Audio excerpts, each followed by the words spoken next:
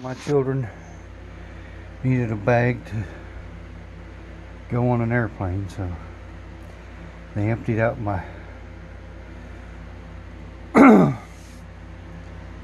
72 hour bag, so now I gotta figure out how to reload it. See what I come up with. And we got the CVS first aid kit in the first hole. It's too tight to open up and try again. That was a battle getting that in there without, you know, taking everything out of the, the CVS, the red bag. Oh, what the heck.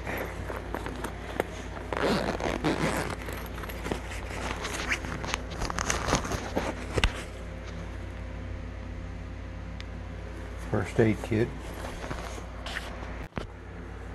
Two of these fire starting things. Lightning flame fire starters. Them in the little pouch on the top. My cordage is on a tactical rope dispenser. Uh-oh.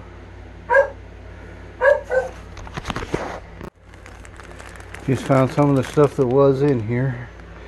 One of them bracelets with paracord on it. The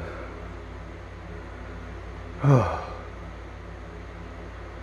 Mylar blankets, uh, water treatment stuff, some boo-boo stuff, some paper towels, and of course your your rain gear uh, ponchos on the other side there. And a window breaking thing or a really heavy piece of metal. Eh, that'll make it a little easier to pack. Oh yeah and that thing there with the knife and all that stuff in it and other fire starting stuff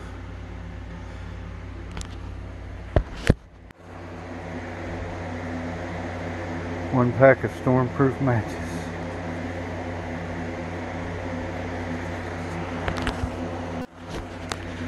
also an MRE.